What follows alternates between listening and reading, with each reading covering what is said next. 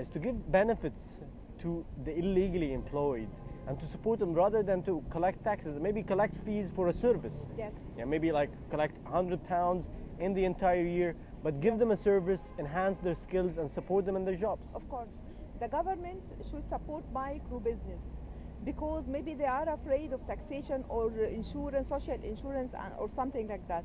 On the other hand, you will find if you are talking with the Ministry of Investments or something like that, they have five-year exemption for taxation or something like that uh, for uh, huge institutions. Yes. Why don't we give uh, the same privilege to micro business? They, some people they have uh, some businesses so maybe they need uh, governmental support ngo civil society support so maybe they can declare or find um, a great support from the government itself And I think uh, the future of Egypt, in order to uh, to get rid of uh, unemployment, is SMEs, small and medium-sized uh, enterprises, encouraging entrepreneurship, the entrepreneurship. How to encourage unemployed people to have their own business. It should be based on the labor needs or market needs. Maybe I can find a missing gap in the society which needs a certain project or certain idea, business idea. So I, I think this initiative should be declared and should be combined together in order to present uh, a lot of initiatives uh, for people who are unemployed to have their own business and it will be better than nothing. Yes. From your expertise as a human development expert, how do you think, uh, what is the exact plan that the government should be implementing in order to raise the skills and what you mentioned previously as the ranking of these employees? Yes. Uh, the, I think the Ministry of Manpower can play an important role nowadays in getting, I think they have a good re- relationship or they are involved or responsible uh, for the employment issue. So I can see that or I imagine that they can play as consultancy big office. They can train unemployed people based on the labor needs. For Yes. example, if we have certain vacancies, so we can train our uh, train our calibers or unemployed people to be matched to the gap in the in the labor market.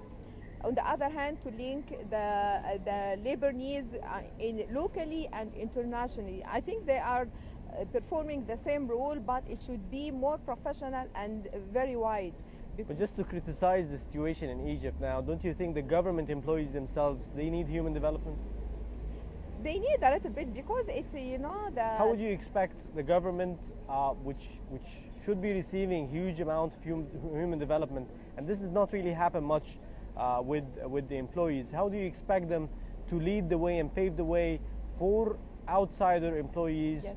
to become better?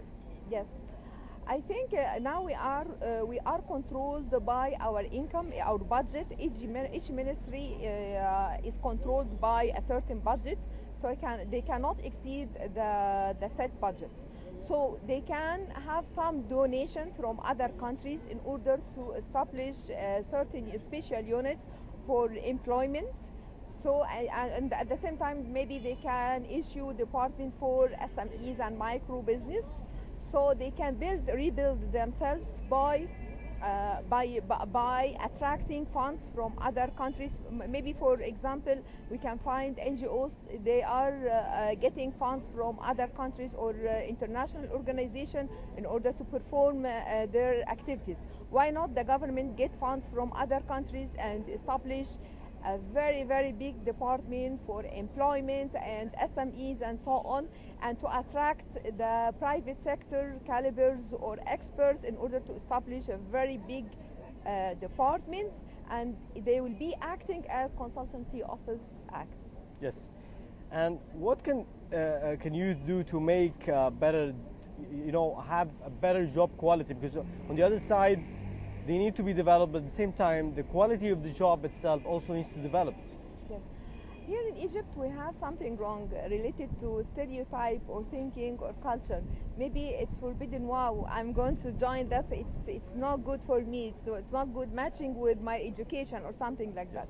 But I, I, I we, we, we should encourage all un, unemployed people to join in the labor market, whatever, if it's matched or not matched, then to rebuild his capabilities, competencies in order to the labor market requirements and so on. So it should be, and we have to change our uh, stereotype, our thinking, and uh, our way of life, and so and so on.